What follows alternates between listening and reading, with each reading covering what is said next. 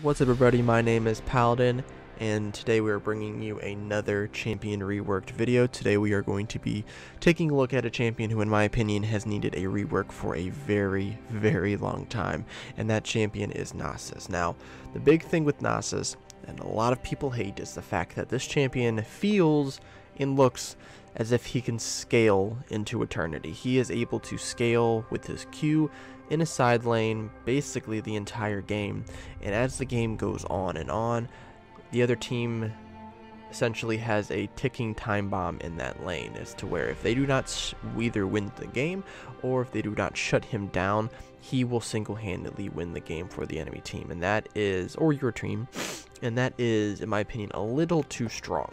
So one of the things that I wanted to look forward to in this rework is changing the dynamic of Nasus, making him more teamfight oriented, because if you look at every other split pushing champion, whether it's Illaoi, whether it's Garen, whether it's Tryndamere, whether it's Yorick, they all have some form of niche that makes them strong, and without that niche, they are not nearly as strong. So with Yorick, it's his ultimate with his ghouls and his maiden. Um, yeah, I forgot even Master Yi. Master Yi with his Highlander up, Tryndamere with his ultimate up. Nasus has a very strong ultimate, but really, even without his ultimate, he is able to single-handedly win a game because of his Q stacking. And with, I don't know if Riot has noticed, but every time they've entered something in the game that has the ability to scale forever, aka Feral Flare back in like season 4, it doesn't work out for the game's health. Nobody likes it, and it becomes very a very unhealthy playstyle for the opposing team to play against, and borderline overpowered. I should say over the borderline of overpowered. So, uh, so like I said, the big thing that we want to do is change up his team fight ability, making him more team fight oriented, and I think you guys will see that with his kit. Okay, so the first ability on our list is his passive, which is, uh, uh, right now it's called Soul Eater. We're going to be changing it to a passive known as Shards of the Desert. So this is actually going to be a completely different ability. Um, this ability, Nasus gathers mystical shards from taking objectives, such as turrets, non, non, um, non-nexus turrets, uh, dragons, Baron, and Rift Herald. So every time he kills one of these, it's very similar to when you kill Rift Herald, how you get the Eye of the Rift, or Eye of the Herald, where then you can summon uh, the Herald, how it drops on the ground, you walk over it for about a second and a half, and you pick it up. For Nasus, every time he kills an objective or takes an objective, he will gain a shard.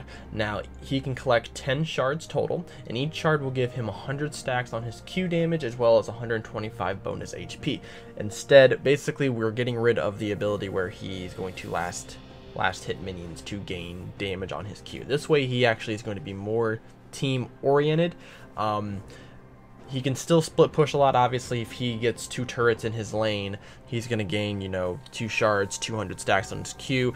And I would say for a lot of people, this may be sort of kind of gutting his abilities because he's not going to have as much damage. He has to basically go around and grab objectives. But if you think about it as a Nasus player, if you go around and you're making yourself more objective heavy, you're going to gain more power. So if you're if you if you help your and you help your team get a Rift Herald grab a dragon, get three turrets, you're already at five, you know, uh, five shards, which could be as early as, you know, 20 minutes in the game, which should make you a lot, a lot stronger than you normally would at that point. But the main reason of doing this is to cap out his infinite scaling tactic that a lot of people have, where they'll, they'll just keep stacking, you know, 40, 40, 50 minutes in the game, and just continue to do that and not help their team. This will actually force Nasus to, he has to group, he has to actually use his power to grab these shards. Um, I think it will make him more consistent with scaling, which may throw him into, you know, being played in higher elos as well. Okay, going into his second ability here, um, or actually his Q ability, which is known as Siphoning Strike. We're going to change the name to Spirit Strike. Uh, very similar ability, just with some added effects. So the first thing is we are removing the last hit stacking effect, which you have on minions. When you kill a minion, uh, you'll gain a stack or two stacks for your Q, or however many stacks. Um, we updated it a little bit. Uh, so now, like I said before, you gain bonus damage based on how many passive stacks. On here, I had it 1 to 8. Uh, I changed it to 10. Um, the big reason why I wanted the 10 that way was kind of an even, um, you know, you gain 100 per stack at, you know, 10 at 10 stacks, you'll have a thousand Q damage, which I think is a good cap for his damage.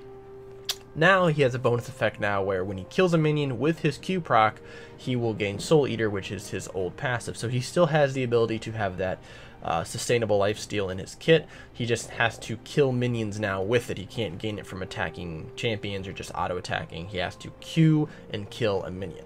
Um, also the scaling, I would I would have to adjust the ratio a little bit.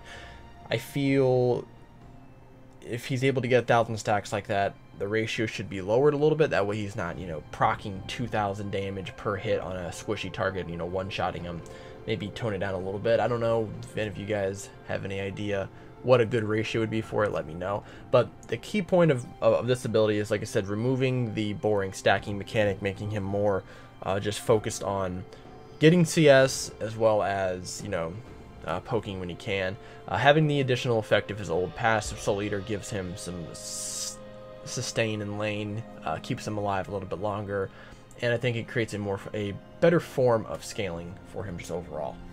Going into his W, which is known as Wither, we'll just change the name to Withered Soul. I just I just think it sounds cooler. Uh, like I said, um, kind of the same thing as the Q, very similar effect, just with some added uh, bonuses in there. Same slow, uh, maybe slightly decreased in ratio, so maybe instead of starting at 90%, it'd probably start at well, I, I, think the max would be 80%. However, this ability now scales with his shards, if you guys can see here. So slow becomes more scale driven based off shard collection. So if he has one or two shards, his slow may start at 50%.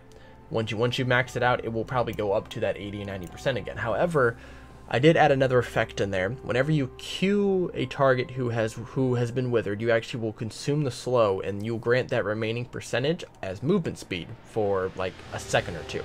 This way, one of the biggest issues with Nasus, I feel, is that he is, if you get close to him, he is unkiteable. If, if you don't have flash, even if you have flash, if he has flash, you're not getting away from him. You need an ability to um, you know, jump over a wall like Camille or go invisible or CC him and then run away. He is very hard to get away from once you've got next to him. And then when, once he's overpowered, it feels, it's like, okay, well, you're dead. You can't really do anything else about it. This way, whenever he consume, whenever he, this way he can't constantly just Q you over and over again until you die. As soon as he Qs you when you're withered, he actually will consume that and he'll grant it the rest of that percentage as movement speed. So if you have a 60% slow still left on you or a 50% slow, if he Qs you, he will gain that as movement speed for like a second or two. Um, the thing is, this adds a little more utility to him. Um, makes it so he's not as uncounterable. You know, whenever he Qs, you still can run away. Um, which I think is a very, very nice effect. And also just just, just adding a, a, new movement mechanic in there. That way he is, the people that I guess he necessarily would be uh, kited by, he can kite them a little bit, just in a different way with, with gaining that movement speed, if, if that makes any sense. Going on to his E ability, which is known as Spirit Fire, I just changed the name to Shurimic Monolith. Very similar ability, yet again, but slightly different effect. So, and you'll see with, with Nas, I really didn't need to change. This isn't like a super hard rework. The biggest rework uh, to him was his passive. Everything else is very similar. I just kind of changed some things up just to make it fit better in the kit. Um, so same effect as before, it has a AoE um, magic damage ability that also shreds percentage armor. Now, um, if placed on top of a turret, whether the turret is standing still or destroyed, it will gain a monolith beacon, which will be a little icon that will pop above the turret. Uh, this will actually increase the AoE, the AoE range of the Spirit Fire effect, as well as uh, granting bonus movement speed for X amount of seconds for Nas. So this is actually a great tool for two different things. One, it's very, very good for defending turrets. So if you're getting dove, you can throw this down on a turret, and obviously they'll be dealt damage, as well as having the armor shred, but also will grant you movement speed, as well as diving. You can throw this down on a turret. Yes, it's going to do damage to them, but you're going to gain movement speeds. That way you can kite, kind of kite around, maybe kill them, deal some damage, and get out.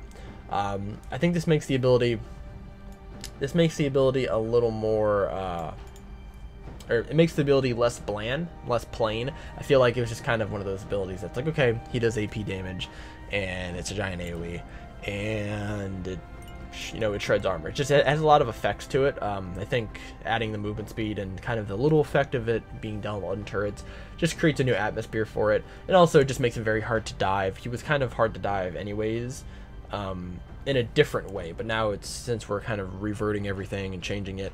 This is, a, I think, a more healthier way of saying that, hey, if you dive me, I'm, I'm just to have a bunch of movement speed, and it's to be really hard to kill me. Okay, now moving on to his final ability, which is his ultimate.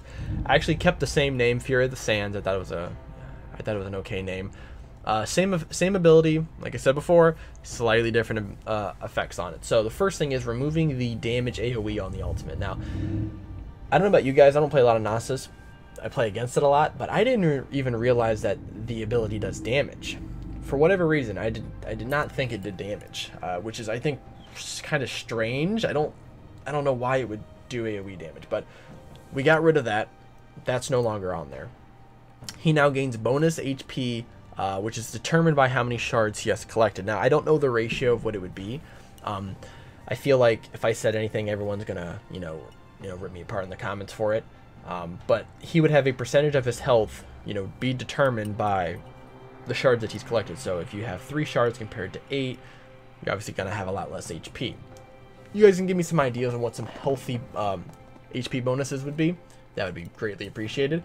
Same effect as before with his bonus auto attack range, as well as the cooldown on his cube. That way you can spam it and have a little bit of a higher, um, you know, extended auto attack range. But now, so he actually used to just gain flat magic resist and flat armor whenever he ulted, which in my opinion is a little ridiculous. You should not be able to click one ability and gain a ton of resistances, um, a la Singed, who is another champion that I'm going to be uh, re reworking in the future. But, so this way, when he actually will gain bonus magic and um, magic resist and armor if standing on top of his E effect. So this actually makes it so if you fight him on top of this with his ultimate, he's going to be very, very strong. If you fight him away from this ultimate, which is a good sense of saying, hey, I need to kite around this and kite and get out of this area, he's not going to be nearly as strong. And same thing for Nasus. He wants to fight while he's on top of his monolith, um, as opposed to outside of it. So this way it kind of contains his power level in an area. And obviously, like I said, it will extend the range when you throw it down on a turret. So he has a pretty good range to fight around but for you, the person who's playing against Nasus, you do not want to be anywhere near that area. Um, I think taking away the AoE damage is good. I, I thought it was, was kind of pointless to have it on there. Um, having bonus HP based off of his passive, I think it's a little more balanced. Um, hopefully it wouldn't be too OP. We have to, like I said, we have, we have to see it in game before we can make any sort of, um, nope, before we can make any sort of um, um, thesis about, or um, hypothesis about it because I don't really know how strong it would be.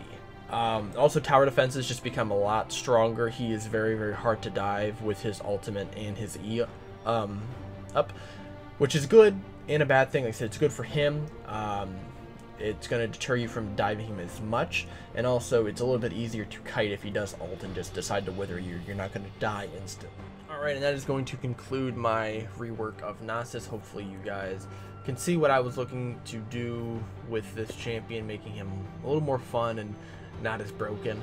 Um, if you guys like what I did, please uh, like and subscribe. Let me know if this idea is very good or if it's complete trash in the comments. Either way, it's awesome. Um, and hopefully I'll see you guys in the next video.